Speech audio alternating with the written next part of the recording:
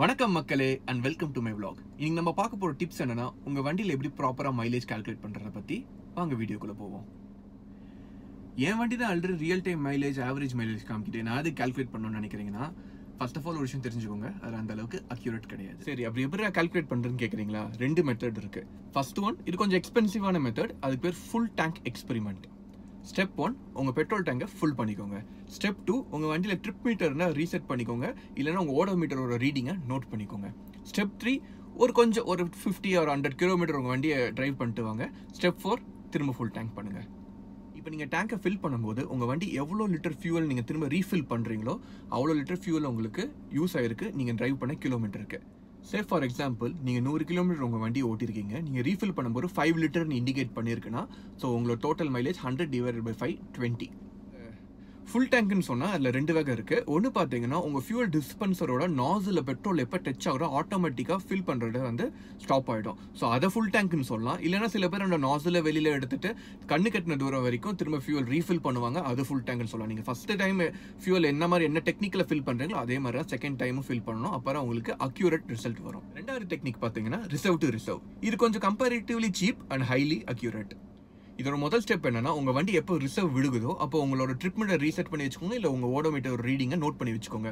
Reserve இல்லாத வண்டியில low fuel warning indicator இல்ல வேற அந்த மாதிரி ஃபியூவல் ரிலேட்டடான இண்டிகேட்டர் இருக்கும். ஸோ அந்த இண்டிகேட்டர் எரிஞ்சிச்சுன்னா சேம் ட்ரிப் மீட்டர் ரீசெட் பண்ணி வச்சுக்கோங்க ஓடோமீட்டர் வேல்யூ நோட் பண்ணி வச்சுக்கோங்க.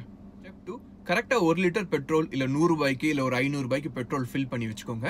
திரும்ப உங்கள் வண்டியை ஓட்டுங்க. ஸோ இப்போ உங்கள் வண்டி அப்ராக்சிமேட்டாக ஒரு எழுபது கிலோமீட்டர் ஓடி இருக்கு. நான் கரெக்டாக ஒரு லிட்டர் பெட்ரோல் தான் போட்டிருக்கேன்னா என்னோட மைலேஜ் செவன்ட்டி இதே நான் ஹண்ட்ரட் ருபிக்கு நான் பெட்ரோல் போட்டிருக்கேன்னா எப்படி கால்குலேட் பண்ணுறேன்னு நான் சொல்லித்தரேன் வெரி சிம்பிள் இப்போ நான் நூறுபாய்க்கு பெட்ரோல் போட்டிருக்கேன். ஸோ நூறுபாய்க்கு அப்ராக்சிமேட்டாக one point four litre petrol நான் seventy kilometre ஓட்டிருக்கேன்னா seventy divide by one point four which is equal to fifty என்னோட வண்டியோட மைலேஜ் ஃபிஃப்டி ரிசர்வ் எடுக்கும்போது மேக் ஷூர் உங்கள் வண்டி ஒரு சமமான நிலை. தட் மீன்ஸ் ஃப்ளாட் சர்ஃபேஸில் இருக்கு. அது இன்க்ளைனாவோ இல்லை ஸ்லோப்பாவோ தட் மீன்ஸ் ஏற்றமாவோ இறக்கமாவோ இருக்கவே கூடாது. அது ஏன்றத இந்த வீடியோவோட கடைசியில் நான் சொல்கிறேன் அது ஒரு போனஸ் கண்டென்ட் டெக்னிக் எனக்கு ரொம்ப ஹைலி அக்யூரேட்டாக இருந்துச்சு. எனக்கு ரொம்ப யூஸ்ஃபுல்லாக இருந்திருக்கு. உங்க வண்டியில இந்த ரிசர்வ் நாபோ இல்லனா லோ ஃபியூல் இண்டிகேட்டரோ இல்லனா இந்த ஆப்ஷன் யூஸ் பண்ணி உங்களால மைலேஜ் கால்குலேட் பண்ண முடியாது. நீங்க திரும்ப first option full tank option தான் யூஸ் பண்ணணும். இது போக மூணாவதா ஒரு சில மெக்கானிக் என்ன பண்ணுவாங்கன்னா ஒரு கரெக்டாக ஒரு பாட்டில் ஒரு லிட்டர் ஃபியூல் மட்டும் ஃபில் பண்ணிக்கிட்டு உங்கள் பெட்ரோல் டேங்க் பதில் அந்த வாட்டர் பாட்டில் கனெக்ஷன் கொடுத்துட்டு டெஸ்ட் பண்ணுவாங்க. அது ரொம்ப டேஞ்சரஸ் நம்மளால் கண்டிப்பாக அது பண்ண முடியாது. ஸோ அதனால் இந்த முதல் ரெண்டு டெக்னிக்கை நீங்களும் ட்ரை பண்ணி பார்க்கலாம். ஸோ கொஞ்சம் முன்னாடி நான் வந்து ஒரு போனஸ் கண்டென்ட் இருக்குன்னு சொன்னேன். அது என்னன்னா ஒரு பெட்ரோல் டேங்க் எப்படி ஆக்சுவலி ஆப்ரேட் ஆகுதுன்னு நம்ம பார்ப்போம். ஸோ இதான் வந்து ஒரு ஃபியூவல் டேங்கோட ரஃப் டயக்ராம் இதில் பார்த்துக்கிட்டிங்கன்னா ரெண்டு டியூப் இருக்குது ஒன்று வந்து மெயின் டியூப் இன்னொன்று ரிசர்வ் டியூப் இது ஆக்சுவல் பெட்காக்னு வாங்க நம்ம டியூப்னே மெயின்டைன் பண்ணலாம். So ninety percentage of the petrol பார்த்தீங்கன்னா இந்த மெயின் டியூப் வழியாக தான் ஃப்ளோ ஆகும். இந்த மெயின் டியூபுக்கு லெவல் கீழே போச்சுன்னா அதான் நம்ம ரிசர்வ் பெட்ரோல் நம்ம சொல்லுவோம். இந்த டயக்ராம்னால உத்து கவனிச்சிங்கன்னா இந்த ரிசர்வ் டியூப் கீழேயும் கொஞ்சம் பெட்ரோல் தங்கியிருக்கு.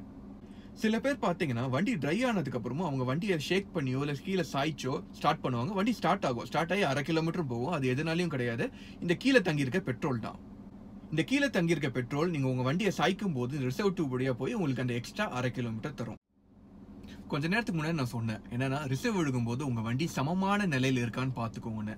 உங்கள் வண்டி சமமான நிலையில் இல்லைன்னா இந்த ரிசர்வ் டியூப் வழியாக போக வேண்டிய ஃபியூவல் மெயின் டியூப் வழியாகவும் போக சான்ஸ் இருக்குது அதனால அக்யூரசி கண்டிப்பாக கம்மியாக இருக்கும். அதனால தான் உங்கள் வண்டி ரிசர்வ் எடுக்கும்போது சமமாக இருக்கணும்னு சொன்னேன். இந்த வீடியோ உங்களுக்கு பிடிச்சிருந்தா லைக் பண்ணுங்கள் ஷேர் பண்ணுங்கள் சப்ஸ்கிரைப் பண்ணுங்கள் தேங்க்யூ